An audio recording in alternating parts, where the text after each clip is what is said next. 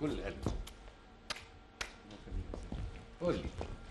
أنا سمعت إن الأستاذ عبد الحليم حافظ الله يرحمه كان بيحبك قوي من طفولتك وأنت صغير وهو السبب في إنه يقدمك. حصل ده سنة آه، 73 آه.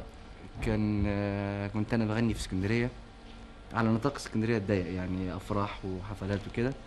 وكان هو الله يرحمه موجود في في فرح ناس من أصدقائه في بيت يعني. آه. وأنا موجود في الفرح غنيت لقيته الحقيقة يعني فرح بيا جدا كطفل يعني بغني آه. وأنا سني صغير وخدني وقعدني جنبه وكده وقال لي أنا لازم آه، لازم تيجي مصر وهقدمك وهتبناك. وفعلا ده حصل آه، في ربيع 73 في الحفلة اللي كانت في مسرح جامعة القاهرة آه، وقدمني باسم عماد عبد الحليم. وهنيك من كل قلبي. ربنا يخليك. وألف دي مبروك. شهادة أعتز بيها.